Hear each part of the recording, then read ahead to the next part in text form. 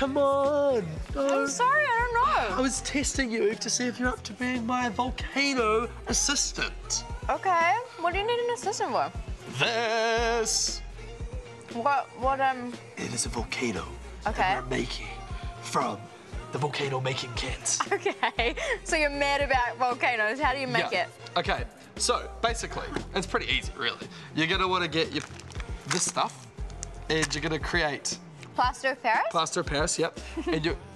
So all the stuff's in the kit basically, Mm-hmm. um, and you want to grab this, and then you follow the instructions, and you get to this mold here. Yeah. Which is pretty cool, and it looks like a volcano, and then you can paint the mold. Oh, pretty. So you've done it yourself. Yes, hashtag DIY. Did it myself. Actually, that's DIM, but that's all right. Um, and so basically what you can do after this step, which you can do with anything, so you can even make like a sandcastle and put a hole in it and use this sort of stuff. Yeah. You're gonna want to get some... explode? Well, this is, this is what we're onto now. You're gonna get some baking soda. Mm-hmm. Hashtag secret recipe. Take about a spoonful. You want to fill that right up, fill it up. Mm-hmm. I put quite a bit there, YOLO? Hope it everyone's ready on set for this explosion.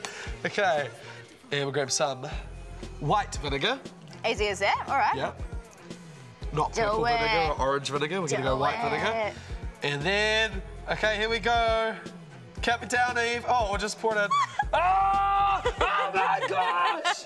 It's exploding! Ah! If you want to win some of these, get online. We're giving them away.